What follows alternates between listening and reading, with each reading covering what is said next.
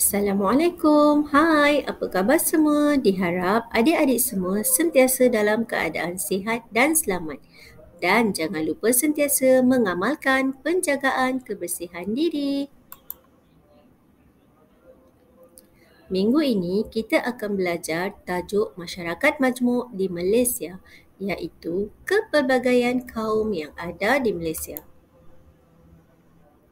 Mari kita lihat kaum-kaum utama di Malaysia. Ada tiga kaum utama di Malaysia iaitu kaum Melayu, kaum Cina dan kaum India. Kaum Melayu merupakan kaum terbesar di Malaysia. Kaum Melayu bertutur menggunakan bahasa Melayu dan beragama Islam.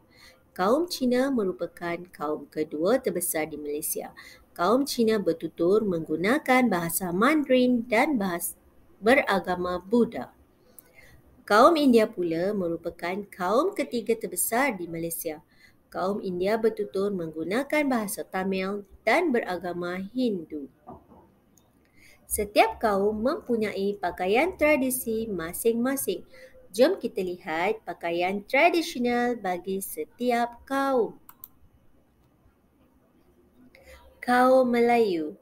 Pakaian tradisional bagi kaum Melayu bagi lelaki ialah baju Melayu dan bagi perempuan ialah baju kurung.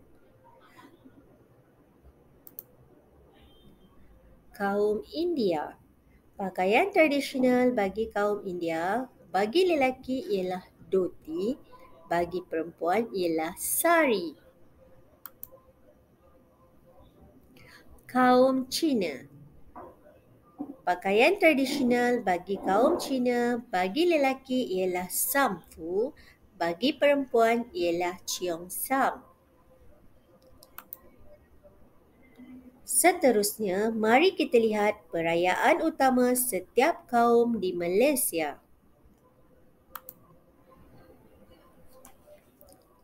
Tiga perayaan utama yang disambut setiap tahun di Malaysia ialah Hari Raya Aidilfitri, Tahun Baru Cina dan Deepavali.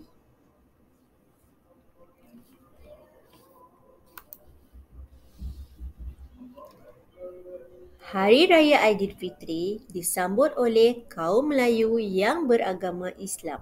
Pada hari ini, pelbagai makanan disediakan seperti ketupat, rendang, lemang dan kuih muih. Saling bermaafan antara satu sama lain adalah kebiasaan yang dilakukan oleh setiap orang Melayu yang meraihkan Hari Raya Aidilfitri menghadiri rumah terbuka dan kanak-kanak riang bermain bunga api di malam hari. Tahun Baru Cina Tahun Baru Cina pula disambut oleh kaum Cina. Tarian singa adalah sesuatu yang amat menarik semasa perayaan ini aneka makanan seperti buah limau, kuih bulan ada disediakan untuk tetamu yang hadir. Akhir sekali, perayaan Deepavali. Perayaan Deepavali disambut oleh kaum India. Pelita dan cahaya yang berwarna-warni dapat dilihat pada sambutan perayaan ini. Makanan tradisi seperti muruku dan lain-lain juga sangat sedap untuk dinikmati tetamu yang hadir.